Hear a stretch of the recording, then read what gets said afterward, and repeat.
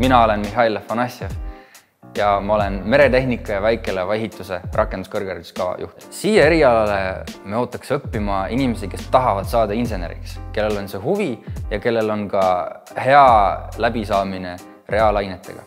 see annab oskuse läheneda probleemile igast küljest, kus vaja.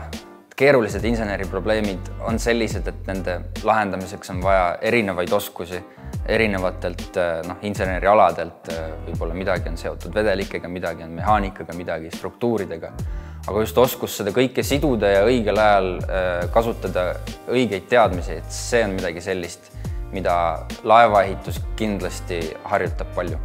meretehnika ja väikelaevaehitus on äh, rakenduskõrgharidus, see kestab neli aastat ja seal sees on päris mitu praktikat. õppetöö toimub äh, Kuressaares sessiooniti Äh, ühel nädalal igas kuus on äh, siis kontaktõppesessioon, kus äh, me tuleme kõik kokku, toimuvad loengud, mõnikord päris pikalt, aga siis kolm ülejäänud nädalat kuust jäävad iseseisvaks tööks ja praktikate tegemiseks. praktikaid on palju, kõik meie tudengid veedavad päris olulise aja, osa ajast ettevõtetes, meretööstuses, suur osa Eesti meretööstuses asub Saaremaal.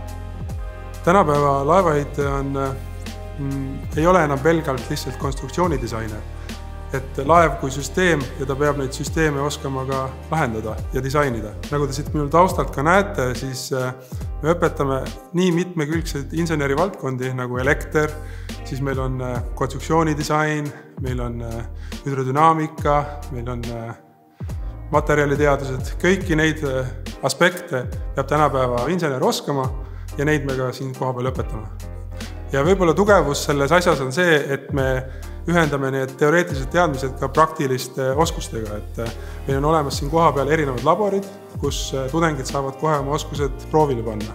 tudeng näeb kõiki neid katseid, mida, mida iga insener peab oma hariduse jooksul äh, nägema ja tegema. küll me tõmbame materjali, siis me painutame neid ja siis me surume neid kokku ja vaatame, kuidas materjalid käituvad, aga lisaks sellele on olemas ju terve rida katseid, mida näeb ainult laevainsener oma elus, näiteks meil on Kuressaares äh, pikk kuuekümne meetrine mudelkatsebassein, kus me enne veel, kui laev päriselt valmis saab, ehitame selle väl-, äh, väiksemas kujus valmis ja siis tõmbame ta läbi basseini, et vaadata, mismoodi ta liigub läbi vee.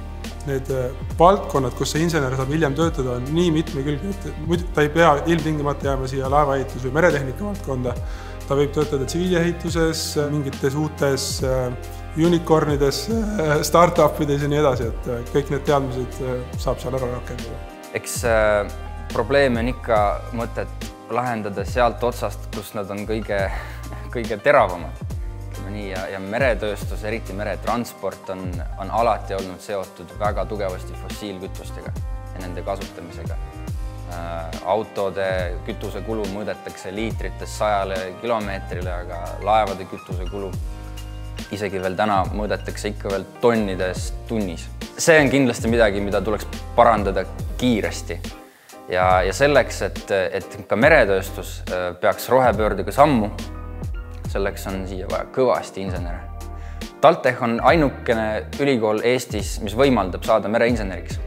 Seda ei ole kusagil mujal Eestis võimalik teha meid nagu juba tuntakse, kuid saadakse aru ka, et meil on nagu väga spetsiifilised oskused, mida võib-olla teistel ei olegi, et äh, just see mitmekülgsus, et äh, me oskame tervet laeva, seda süsteemi nii-öelda kokku panna ja me oskame seda teha nagu efektiivselt. meie lõpetajal töö leidmisega ei ole kunagi probleeme olnud. raske on leida töötut laevaehitajat, äh, aga kes tahab, võib minna edasi magistriõppesse. meretehnika magister on siinsamas Saaremaal nüüd sellest aastast olemas aga avatud on tegelikult ka kõikide välisülikoolide uksed